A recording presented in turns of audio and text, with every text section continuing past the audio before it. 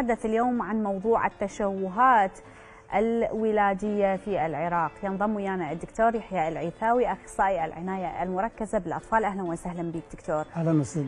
يعني نتحدث اليوم عن موضوع آه، مهم. نتائج السلبية آه، واضحة على أرض الواقع. هي أطفال يولدون بتشوهات آه، مع الأسف بعد عقود من الزمن من الحروب. إيش قد تشترك فعلا في التشوهات الخلقية على الأطفال. نعم بسم الله الرحمن الرحيم. شكرا على الاستضافة. ست التشوهات الخلقية هي تغيير بالتركيب البنيوي للطفل أو الخديج. آه، وعادة آه، تبدي أو تظهر بفترة التعظي أو فترة تكوين الأعضاء اللي هي أول ثلاثة أشهر. آه، تقريبا تسبب حوالي ربع مليون وفاة بالعالم وتق... بالأطفال آه، بالشهر الأول وأيضا حوالي مليونين طفل يموتون آه، خلال الخمس سنوات الأولى. نعم. آه، تقريبا نسبتها تكون حوالي 7.5 7.5% لكن معظمها يكون تشوهات خفيفة. التشوهات الوخيمة أو الشديدة هي تكون تقريبا واحد من عشرة من هذه التشوهات. مم. الأسباب التشوهات كثيرة. نعم. منها وراثية منها بيئية والبيئية تكون تغذوية أو معدية أو مسخية. المسخية هي المواد التي تؤدي إلى التشوه الخلقي آه، كان تكون أدوية أو إشعاعات أو مواد ثقيلة أو آه، مواد مكافحة الحشرات. التشوهات الخلقية آه، عادة أيضا أكو أسباب أخرى اللي هي تغذوية مثلا السمنة مثلا التدخين مثلا الكحول آه، مثلا نقص بعض المواد التغذية مثل ال folic acid أو مثل ال iodine. يعني أنت ذكرت موضوع السمنة ممكن السمنة تسبب تشوهات؟ نعم. السمنة ممكن تسبب تشوهات خلقية بالأم خلال الفترة الأولى. الأسباب التغذوية عادة تصير يعني قبل وخلال وبعد فترة التخصيب أو ال conception طيب دكتور إحنا بدنا نتحدث عن العراق يعني آه ما اريد أقول لك إحنا دائما نسمع إنه أكو للحروب أثر على الأطفال. بس أنت يعني طبيب وتعرف أكثر. اليوم إذا قلنا إنه الأطفال سبب تشوهات الخلقيه للأطفال في العراق. إيش قد تشترك الحروب بهذه التشوهات؟ زائد شنو هي الأشياء الثانية آه، الأكثر تاثيرا حاليا في أطفالنا؟ شوفي التشوهات الخلقية على العموم تكثر بالبلدان ذات الدخل القليل. مم. يعني كل ما قل الدخل مم. كل ما زادت التشوهات الخلقية. لذلك بالعالم الثالث التشوهات الخلقية تكون أكثر من العالم المتقدم. الأكثر سبب أعتقد بالإضافة إلى الحروب إنه هي قلة أو ضعف أو بدائية العناية الطبية اللي هي آه، الكشف وعلاج آه، آه، الأسباب التي تؤدي إلى التشوهات الخلقية. لأنه التشوهات الخلقية يجب أن نبدي نعالجها قبل الولادة منها مثلا علاج الضغط علاج السكر مكافحة التدخين الكحول إعطاء الأم مكملات غذائية مثل الفوليك أسيد أو الأيودين. الكشف عن الأمراض خلال الحمل بالثلاث أشهر الأولى والثلاث أشهر الثانية. وحتى الكشف أو يسموه الترشيح الولادي يعني كل طفل ينولد بالعالم. حاليا يوجد برامج يسموها الترشيح الولادي وهي فحص الطفل لوجود تشوهات والأمراض الوراثية. هذا الفحص الترشيح يكون بدني يعني فحص بدني يكون عبارة عن أشعة وسونار وأيضا عبارة عن تحاليل مختبرية. طيب دكتور يعني ممكن إنه الطفل ينولد وما عليه أعراض إنه هو مشوه خلقيا؟ معظم شوف التشوهات الخلقية نوعين. نعم. تشوهات وخيمة شديدة م. وتشوهات ضعيفة. م. وأيضا تقسم إلى تشوهات ظاهرة وتشوهات مخفية. مم. التشوهات الظاهرة عادة نكتشفها عند الولادة. التشوهات المخفية ما نظف... ما نكتشفها إلا بوجود مشكلة وظيفية. مثلا تشوهات القلب الخلقية بالقلب. إذا ما ظهرت أعراض ما راح نكتشفها. إلا إذا عندنا برنامج ترشيح ولادي أو مسح ولادي أو فحص ولادي. هذا عندنا بالعراق؟ لا. للأسف يعني. موجود ضروري؟ بكل دول العالم بس ما موجود. يعني أنا مثلا بخبرتي 30 سنة خبرتي بقطر وبالإمارات وبأستراليا وبكندا يوجد برنامج ترشيح كل طفل ينولد يعرض إلى ترشيح ولادي اللي هو بدني فحص الطفل مثلا فحص العين حتى نشوف أكو cataract ولا لا الماء الأبيض. فحص الورك حتى نشوفه مستقر لو ما مستقر. آه فحص مثلا السمع حتى نشوف الطفل يسمع ولا ما يسمع. مثلا فحص ال- العين. بالطبيب لما يكون الطفل بوزن معين مثلا أقل من 1500 غرام. أيضا فحص فحص الدماغ نعم. ل- لأطفال معينين. من خلال فتحة الدماغ نقدر نشوف هل يوجد تشوهات قلبيه به. إذا الطفل مثلا آه، آه، آه، يعني عنده أقارب من الدرجة الأولى عندهم تشوهات اذا القلب لازم ينفحص عند الولادة حتى لو كان ما عنده أعراض. وبعدين أيضا نأخذ عينة. من رجل الطفل ونخليها filter papers ونرسلها إلى مجموعة فحوصات وراثية يعني هذا آه، أشبه هو بنظام متابعة لكل نعم. الأطفال نعم. طيب هذا البرنامج مكلف يعني هو بحيث ما موجود آه، يعني يحتاج مثلا كوادر طبية عالية شنو اللي يحتاجه بالضبط يحتاج يحتاج تدريب آه، الأطباء الجدد خصوصا المقيمين على فحص البدني للترشيح الولادي هذا واحد يحتاج سونار وأشعة أيضا يحتاج فحوصات مختبرية خاصة. ال- السعر أو كلفة يعتمد على عدد الأمراض اللي تكتشفيها إذا تريدين خمس أمراض بس الكلفة معينة. إذا عشرة أو أربعين مرض. تقريبا الكلفة للطفل الواحد لل- للفحص المخبري اللي يحط filter paper ونرسله أما داخل العراق في مختبر مركزي أو حتى خارج العراق. آه، يكلف بين 10 إلى 50 دولار حسب عدد الأمراض اللي يريد نكتشفها. يعني هذا يدفعنا للتفكير بموضوع آخر ممكن أنه نتحدث به بالحلقات المقبلة اللي هو إمكانية فعلا آه، استخدام الضمان الصحي آه، مثلا للعوائل أو للموظفين أو يعني أنه نبلش ببرنامج الضمان الصحي بحيث ممكن أنه يغطي هذه التكاليف. شوفي هو ال ال ال ال يعني المضحك المبكي إنه الفحص الولادي يكون أرخص على الدولة من عدم اجراءه لأنه راح تكتشفين مجموعة أمراض وتعالجيها وبالتالي ما تؤدي إلى العوق الوظيفي أو الذهني الفيزيائي اللي راح يكلف الدولة والمواطن والأهل تكاليف كبيرة قد تصل إلى مليون دولار للشخص الواحد. بينما إذا اكتشفتها من البداية يكون تكلفة بسيطة. يعني هو بجانب اقتصادي همين. جداً، نعم. ذكرني بالبرنامج البريطاني اللي بلشوا به هو برنامج مكافحة السمنة والحد من الإعلانات اللي تدعو إلى آه، يعني إلى الأكل بشراهة. أيضا كانت نظرتهم اقتصادية للموضوع. مكافحة السمنة في بواكيرها حتى لا تظهر أعراض ثانية بالأخير بالمستقبل. هو هذا أيضا يقودنا إلى إلى موضوع هو منع كيفية منع أو تقليل التشوهات الخلقية. التشوهات الخلقية منعها يبدي قبل الزواج. اولا ونقطة مهمة وم- ومش يعني مشهوره عندنا هي زواج الأقارب. نعم منع زواج الأقارب خصوصا إذا كان أكو تاريخ مرضي لأطفال توفوا آه، بالشهر الأول أو بالخمس سنين.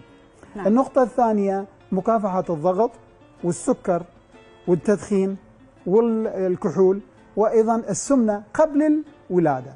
آه، إضافة مكملات غذائية للأم قبل الزواج اللي هي مثلا الفوليك أسيد أو الأيودين. وبعد الزواج يجب أن يكون هناك أيضا ترشيح أو بعض عفوا ال- ال- خلال الحمل الشهر الأشهر الثلاثة الأولى يجب أن يكون ترشيح ولادي أو فحص للأم من خلال السونار ومن خلال تحاليل دم, آه، دم وأيضا بالأشهر الثانية أكو تحاليل معينة حتى نكتشف ال- ال- التشوه الخلقي. إذا أكو علامات عامة آه، الطبيبة النسائية أو الطبيب العائلة يكتشفها. إذا اكتشفها علامات معينة يحول الطفل إلى طبيب متخصص اللي للفحص التشوهات الخلقية. سواء كانت التشوهات الخلقية في القلب أو في الجهاز العصبي أو في ال- ال- العظام أو في أماكن أخرى. طيب أيضا العفو للمقاطعة. أيضا أكو هناك فحص بعد الولادة. اللي هو الترشيح الولادي اللي هو آه، فحص بنيوي يعني نعلم الطبيب كيف يفحص ويكتشف هذه الأمراض حتى لو كانت ما موجودة آه، فحص أشعة وسونار وفحص آه، مخبري من خلال الفلتر بيبر هذه تساعدنا على اكتشاف الأمراض وعلاجها بصورة أبكر و- أو أيضا نقدر نمنعها لأنه خير المنع هو اكتشاف الأمراض آه، بصورة مبكرة. قبل أن تبدي اعراض طيب أنت هذا حاليا تحدثت عن الجانب اللي يخص التغذية والعائلة يعني العوامل والجينات الوراثية، لكن إذا تحدثنا عن العوامل البيئية، هل هذا يتطلب مثلا دراسات أكثر، بحوث أكثر في قضايا البيئة؟ آه، بحيث ممكن إنه تشتغل المنظمات المعنية بالبيئة أو وزارة البيئة في الحد من الإشعاعات أو يعني غلق هذه الأماكن أو يعني نعم يعني هذا اللي أسألك عليه نعم متطلب شوفي يحتاج دراسات ال المواد المسخية يسموها مم. أو ال teratogenic agents.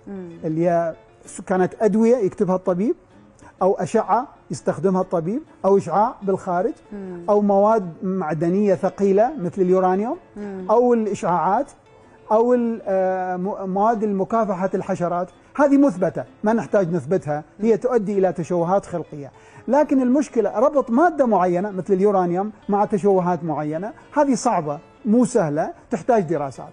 لكن الأسباب العامة هذه آه، مثبتة ما نحتاج آه، دراسات حتى نثبتها لأن اوريدي مثبتة. لكن ربط إحداها هذه المواد المسخيه مع تشوه خلقي في منطقه معينه هو هذا الصعوبه اللي تحتاج آه، بحوث لكن بصوره عامه آم، الابتعاد عن ال- ال- ال- آه، المواد مكافحه الحشرات الابتعاد عن آه، المعادن الثقيله الابتعاد عن ال- الادويه آه، ال- المسخيه اللي تيراتوجينيك مثل الثاليدومايد ولازم وزاره الصحه والمؤسسات المعنية تخلي برنامج خاص بحيث تمنع آه، آه، إعطاء هذه الأدوية مو بس من الناس العامين لا تعطيهم بس لأطباء معينين بحيث يكون خلال آه، برنامج معين لمنع إعطاء الأم أدوية مسخية قد تؤدي إلى التشوهات الخلقيه. يعني بهاي الحالة إحنا نحتاج دراسات أكثر عن بيئة مثل العراق طبعا هو شوفي ال ال ال ال ال إذا إذا أحد يسألني شو شنو ال ال الأشياء اللي ممكن نسويها بسرعة حتى نمنع التشوهات الخلقية هي آه، بسيطة منع زواج الأقارب مم. اثنين آه، آه، منع زواج الأقارب منع زواج نهائياً؟ نهائيا قدر الإمكان قدر الإمكان. خصوصا خصوصا إذا كان هناك تاريخ مرضي مم. يعني مثلا عائلة عندهم طفل مات أول شهر بدون معرف- مع- معرفة السبب أو تحت الخمس سنين أو عندهم طفل معوق مم. هذه الأفضل ما يتزوجون أو إذا آه، لازم نتزوج أقارب لازم نفحص آه، آه، فحوصات ما قبل الز- الزواج سواء فحوصات بيئية أو في فحوصات وراثية. يعني دكتور إلى أي مرتبة بالعائلة ممكن إنه الزواج يكون مقبول؟ كل ما كان أبعد أفضل. كل ما كان أبعد. كل ما كل ما كان أقرب مو ما مقبول لكن الخطورة تزيد الخطورة تكون أعلى في التشوهات الخلقية نعم. عندك تجربة بمتابعة هذا الملف التشوهات الخلقية في أوروبا؟ شوفي أني آه، شغلي على فتره 35 سنة. نعم. آه، ثمان سنين بالعراق. مم. آه، خمس سنين في قطر. آه، ثلاث سنوات في آه، الإمارات. مم. آه، ثلاث سنوات في أستراليا في ملبورن في Royal Women Hospital و11 سنة في كندا في وينيبيغ مانيتوبا. آه، فخبرتي كبيرة وبديت هنا أنا سوينا مركز في أربيل. مم. آه، لعلاج ال- ال- ليس فقط التشوهات الخلقية لكن أي عوق فيزيائي نعم. أو سلوكي أو ذهني. يعني مثلا آه، من عام 2016 ال- الشلل المخي مثلا أو العوق الجسدي سواء كان بالاطراف السفلية أو الأطراف العليا كان الطفل يهمل شوفين طفل مثلا دائما على wheelchair أو طفل ما يقدر يمشي لكن باكتشاف مثلا ال robotic walkers. اللي هي الروبوت اللي يعلم الطفل كيف يمشي. فهذا حاليا موجود عندنا في المركز اللي هو مساعدة الطفل المعوق كيف يمشي. مو فقط العوق ال- الحركي في الأطراف السفلى والأطراف العليا لكن العوق الذهني العوق في السمع العوق في النظر العوق السلوكي تأخر النطق. هذه هذه الأمراض اللي بدك تحكي عنها عفوا دكتور إلى أي حد ممكن تتعالج فعلا؟ شوفي ال ال ال إذا تجيني قبل آه، 2016 أي. ال- أقول لك 50% 50 لكن حاليا مع وجود ال- الذكاء الصناعي ووجود ال- الإنسان الآلي في التدريب الاطفال والعلاج ما قبل التدريب أقدر أقول نسبة الشفاء هي ليست شفاء لأنه تعرفين أنت التشوه الخلقي في الدماغ أو أي ضرر في الدماغ هو حدث خلاص لكن إحنا نعيد التأهيل. ال- ال- ال- ال- ال- الأط- ال- الأطراف الحركية أو الحسية أو العوق أي كان نقدر نعيد تأهيله. فأني أق- مثلا أعطيك نسبة إنه حاليا عندي هنا إذا المريض يجيني تقريبا أقدر أقول نسبة إعادة الطفل إلى اكتسابه الوظائف الحركية يصل بين 60 إلى أحيانا 100% دكتور أنت تحكي يعني عن أمل كبير بالنسبة لهواي عوائل حاليا. نعم. هذه إذا تستخدم يعني تقنيات الذكاء الاصطناعي؟ شوفي حاليا أستخدم في في العوق ال- الفيزيائي أستخدم أجهزة الروبوت. يعني عندنا روبوت نلبسه للطفل نعم. ويعلمه المشي. يعني هسه ممكن أشوفك فيديو إذا يعجبك. أمشي فيديو أو الروبوت يمسك الطفل ويعلمه كيف يأكل مثلا يعني. أو الروبوت يساعده في الكتابة. يعني يلبسه وعلى جهاز الموبايل أو التابلت أنا أقدر أحرك الطفل خلال session ات ساعة إلى ساعتين باليوم. مو بس هذا إحنا ممكن نأجر الجهاز للعائلة. طبعا نعم بس بس هو الجهاز غالي جدا ومكلف طبعا معظم العوائل ما يقدرون عليه بس إحنا نحاول نساعد قدر الإمكان مم. أيضا مثلا العوق ال- آه، عدم قدرة الطفل على السيطرة على البول مم. أو عدم قدرة الطفل على السيطرة على البراز مم. أو مثلا عدم قدرة الطفل على النطق أو مثلا عندنا آه، آه، عوق يسموه سلوكي بسبب أيضا التشوهات الخلقية أو بسبب أمراض أخرى مثلا فرط الحركة مثلا عدم القدرة على النطق مثلا ال- صعوبة في المدرسة آه، مثلا الذهان مثلا أمراض سوء السلوك. كل هذا ممكن ال- ال- سوء التغذية وقلة الوزن. هذه كلها أنا أعتبرها ممكن نعيد تأهيلها. وبنتائج مبهرة وعندنا أمثلة كثيرة. آه، أنا ما صار لي هواية يعني صار تقريبا آه، من رجعت للعراق تقريبا صار شهرين. بس أني أقدر أقول لك نسبة الشفاء في هذه الأمراض وإعادة الأمل لهؤلاء الأطفال ممكن آه ممكنة آه، لكن مو دائما ممكنة 100% بس أقدر أقول بين 50 إلى 100% يعني بعد آه، خمس سنين آه، إيش قد تشوف إنه التقنيات الحديثة ممكن إنه تساعد في الشفاء من أمراض آه، لها علاقة بالتشوهات الخلقية؟ شوفي العلاج التشوهات أو عشر سنين أو عشرين سنة. شوفي ما نعرف. علاج التشوهات الخلقية يتكون من شقين. الشق الأول وظيفي. يعني اني أول ما أريد أعالج تشوهات خلقية إجاني طفل عنده تشوه خلقي عنده مشكلة برجليه. أول شيء اني أبدي أقيمه. أفحص العين من قبل طبيب العيون أفحص الإذن من قبل طبيب الإذن أفحص الدماغ أفحص القلب أفحص الكبد أفحص الكلية أفحص العظام. كونت فكرة أفحص الطفل سلوكيا ونفسيا. كونت فكرة عن العوق ال- هدفي الأول هو آ- آ- آ- تصليح الوظائف. يعني الطفل اللي ما يقدر يمشي هدفي إنه خليه يمشي. الطفل اللي مثلا آه، يتبول على نفسه بالليل هدفي إنه ما خليه يتبول على نفسه بالليل. هد اللي الطفل اللي يتبرز على نفسه ما خليه يتبرز على نفسه. الطفل اللي ما ينطق أساعده بالنطق. الطفل اللي اداء سيء بالمدرسة أساعده باداء أحسن بالمدرسة. الطفل اللي عنده أمراض سلوكية أساعده بها. كملت. وطبعا إذا كان عندي أكثر من وظيفة أبدي بالوظيفة المهمة وبعدين أتحول على الوظيفة اللي بعدها. يعني أكثر أهمية. مثلا قدرة الطفل على المشي. إلى أن الطفل يقدر ي- آه، آه، عند خمس سنين أو عشر سنين يقدر يعيش independent من العائلة. بعدها أبدي أتحول للجمالية لل cosmetics مم. ال- فالعلاج هذا ال ال ال الإنسان الآلي اللي موجود هسه وطبعا آه، ممكن يتطور يعني بالمستقبل شوفي أنا تتطور حاليا أكثر. إحنا إحنا ما نحتاج نحكي على المستقبل حاليا. ال ال مثل ما قلت لك مثلا ال- العوق الجسدي بالأطراف السفلى أو العليا ريفوليوشنايز يعني صار مثل بها ثورة يعني قبل 2017 قبل 2018 لما بدأ أول جهاز روبوتك يساعد على الحركة مثل تريكسول الأمريكي أو آه، آه، لابوك الكندي ال- ال- الهندي أو آه، مثلا إليوسايت اللوكسمبورغ هذه الأجهزة هسه الروبوت لما تحسنت سوت ثورة بها علاج هؤلاء الأطفال من مقعدين نعم. إلى independent طبعا أيضا يتطور بالنسبة لمسائل النطق. مسائل ال- ال- الحركة يعني أنا أسألك هيك دكتور لأنه مثلا اليوم أكو جدل آه، حول استخدام هذه الشريحة اللي تزرع بالعقل اللي هي آه، يروج لها إيلون ماسك. آه، ممكن أنه تنزرع في عقل الإنسان وتقوم بوظائف اللي هو ما يقدر يقوم بها يعني بس انطيني تصور عن المستقبل كطبيب ودا يشتغل ويا هذه التقنيات. يعني إلى أي حد هذه فعلا حقيقية؟ شوفي اني أني رجل وطبيب. يعني واقعي. أي. أنا أتعامل حاليا مع الوقائع. آه، وجود شرائح بالمستقبل بحيث ممكن تساعد الطفل على النطق أو تساعده على المدرسة أو تساعده على الذاكرة أو تقلل من حركته. آه، نظريا ممكن لكن لحد الآن آه، غير موجودة و- وأكثر ما هي خيال علمي. لكن اللي موجود حاليا أكو أجهزة آه، باستخدام الذكاء الصناعي وباستخدام الإنسان الآلي موجودة حاليا. وأنا نجربها وعندنا بالعراق حاليا موجودة. نجربها ونتائجها مبهرة.